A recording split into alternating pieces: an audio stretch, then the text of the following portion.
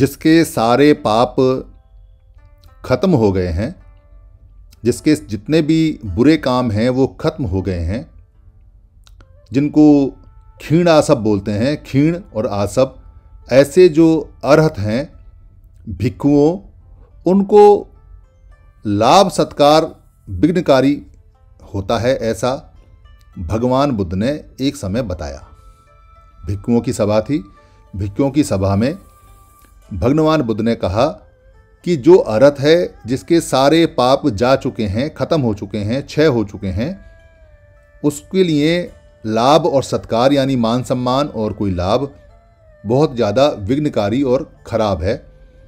ऐसा जब भगवान बुद्ध ने भिक्खुओं से कहा तो शास्ता यानी टीचर के मुँह से ऐसी बात सुनकर जो आवुस आनंद थे आवुस का मतलब आयुष्मान, आनंद थे वो भगवान से बोले कि, भंते, भला अगर कोई व्यक्ति है, भिक्खु है, जिसके सारे पाप कर्म जा चुके हैं, जिसकी सारी बुराइयाँ खत्म हो चुकी हैं, सारे आसब बह चुके हैं, ऐसा भिक्खु अगर लाभ सत्कार लेगा या कोई अगर लाभ लेता है या कोई सत्कार लेता है तो वो कैसे विघ्नकारी है? विघ्नकारी का मतलब है विघय विघयकारी है कैसे उसके लिए विनाशकारी है, कैसे अहितकर है, कैसे खराब है? ये बात मेरी समझ में नहीं आई, क्योंकि भिक्खु तो अर्थ बहुत अच्छे होते हैं, कोई उनका लाभ सत्कार करेगा, मान सम्मान करेगा, कुछ देगा तो उनके लिए क्या दिक्कत है? तब भगवान बुद्ध ने इस छोटी सी बात को पूरी तरह से समझाया। उन्होंने कहा कि आनंद,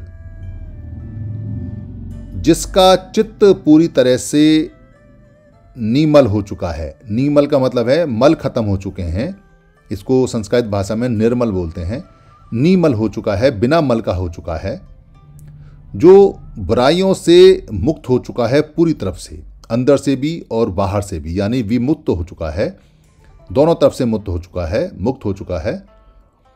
उसके लिए अगर लाभ और सत्कार कोई आता है तो वो इसलिए अहितकर है क्योंकि लाभ सत्कार उसको राग में डाल देगा। और राग में आने के बाद में जैसे ही राग उसको लपेटेगा, उसका अर्हत पद खत्म हो जाएगा।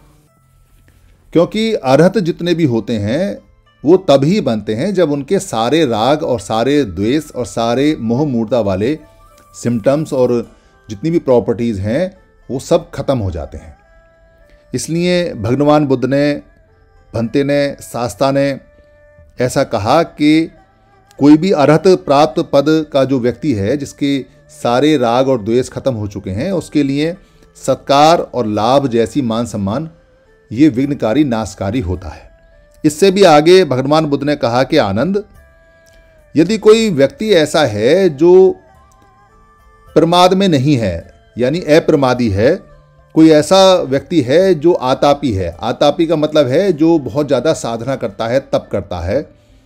कोई ऐसा व्यक्ति है जो सत्य के लिए, सच के लिए दृढ़ संकल्प है और अपना जीवन सुखी, सुख में विहार करता है, उस व्यक्ति के लिए भी लाभ, प्रशंसा, सत्कार ये नुकसानदायक हैं, उसकी जीवन की सुख और शांति खत्म कर देंगे।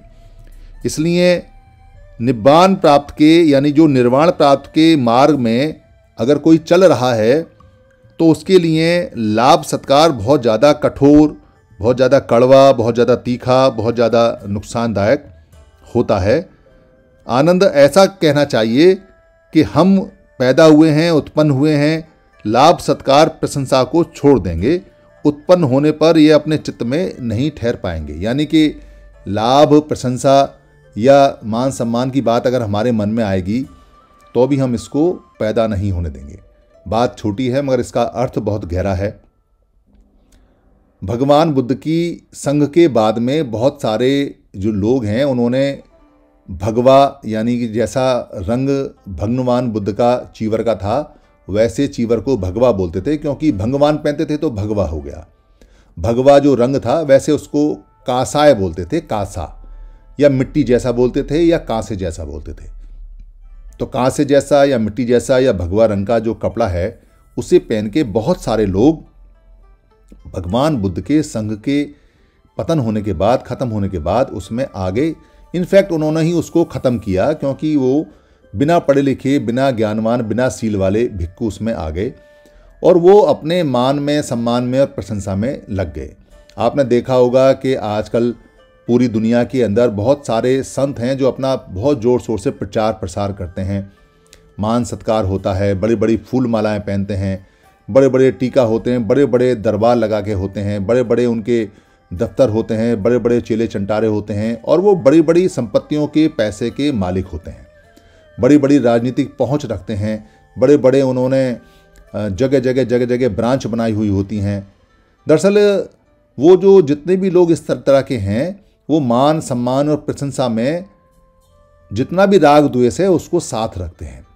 कोई व्यक्ति ये कहे कि मैं सेवा करता हूँ और मैं सेवादार हूँ और दिन में चार बार कपड़े बदले, खूब वो बड़े बड़े जहाज़ों में घूमे, खूब बढ़िया बढ़िया खाना खाए, खूब बढ़िया बढ़िया महलों में रहे और अपने आप को कहता रहे कि मैं राग से और मैं द्वेष से लिप्त नहीं हूँ तो वो झूठ बोल रहा है। जो व्यक्ति राग से, द्वेष से और मोह माया से लिप्त नहीं होता, संत जैसा हो जाता है, वो ना तो किसी की प्रशंसा चाहता है, ना ही किसी का कोई अपशब्द कहता है, ना ही वो मान सम्मान के लिए कहीं जाता है, ना ही कहीं वो कोई सत्कार के लिए जाता है। ये लाभ और सत्कार यानी कि वो लाभ के लिए भी कोई काम नहीं करता। ये लाभ और सत्कार और प्रशंसा से वो विमुक्त हो जाता है। विमुक्त का मतलब है कि शरीर के मन के अंदर से भी मुक्त हो जाता है। और बाहर जो फ़िज़िकल वर्ड है, उससे भी मुक्त हो जाता है। ये किसी अच्छे व्यक्ति की, सत्पुरुष की, किसी ऐसे भिक्खु की जो बुद्ध के समय थी, ये पहचान है कि अगर वो लाभ से, सत्कार से, प्रशंसा से अपने आप को ख़त्म कर चुका है, फिर वो सच में अरहत और संत होता है। इसलिए भगवान बुद्ध ने कहा कि आनंद, कोई व्यक्ति अगर कोई ऐसा है जो अपना जीवन सुख में बिहार करता है, उसके लिए भी ये विघयकारी हैं विघ्नकारी हैं, उसको भी ये नुकसान पहुंचाते हैं। प्रशंसा जिसका रोग लग जाए प्रशंसा का, उसकी जब प्रशंसा नहीं होती तो उसको बेचैनी होनी शुरू हो जाती है। वो बीमार हो जाता है, वो परेशान हो जाता है और वो उल्टी सीधी हरकतें करना शुरू कर देता है और पाप को फैलाता है। कोई व्यक्ति अगर लाभ लेने लग जाता है तो वो लाभ का इतना आदि होता है कि अगर उसे लाभ ना मिले तो वो परेशान हो जाता है। कोई व्यक्ति अगर किसी का मान सम्मान उसको ना दें, फूलमाला ना पहनाएँ, उसकी जय जयकार न ना करें, उसकी बात ना करें तो वो व्यक्ति फिर उल्टे सीधे काम करके नुकसान भी पहुंचाता है। ऐसा भगवान बुद्ध ने आनंद को संक्षेप में समझाया और बताया। धन्यवाद।